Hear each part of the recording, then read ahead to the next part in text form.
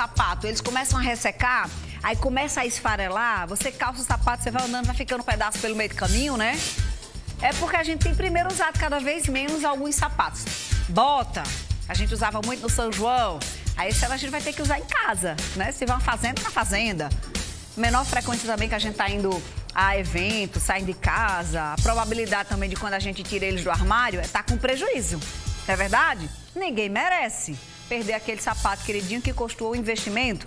Aí hoje a gente separou várias dicas para você manter os seus sapatos bem conservados.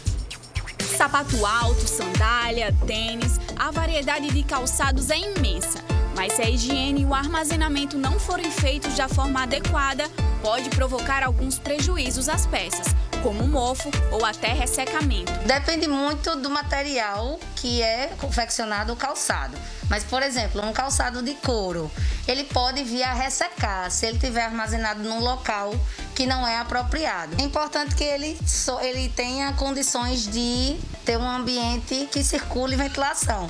Então, o ideal é, se ele for para uma caixa de sapato, que as caixas sejam furadinhas, ou que seja armazenado num saquinho, por exemplo, de TNT, que ele vai conseguir respirar, digamos assim, vai circular ar para não danificar o material do calçado. Principalmente nessa época de chuva, por exemplo, não guardar o sapato molhado. É importante que ele seja secado naturalmente na sombra, para não danificar o material do calçado. Em seguida, é importante verificar como é feita a armazenagem desse calçado.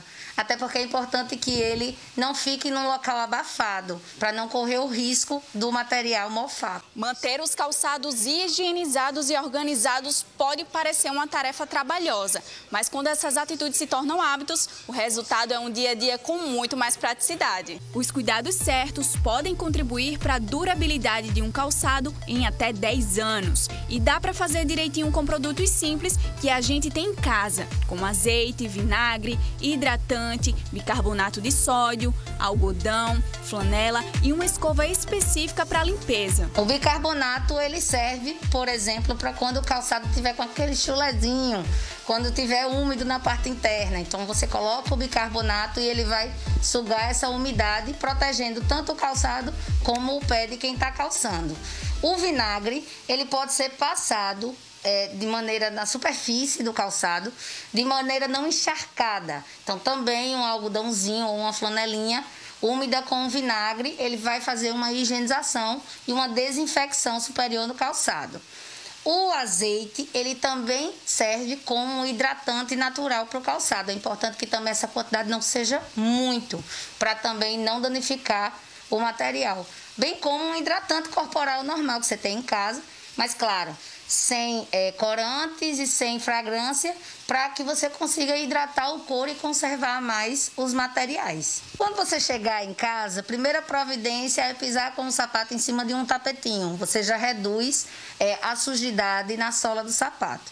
Em seguida, se você for usar novamente o calçado, você deixa num local arejado para que ele tenha condições de, de sair a umidade e pode fazer uma higienização com uma flanelinha úmida, não muito molhada, e depois um paninho seco para dar uma lustrada. Vai depender também do material do calçado. Na hora de guardá-lo, é importante que ele não esteja úmido e que não esteja sujo. Então, essa higienização, tanto por fora como por dentro, vai preservar o calçado por muito mais tempo.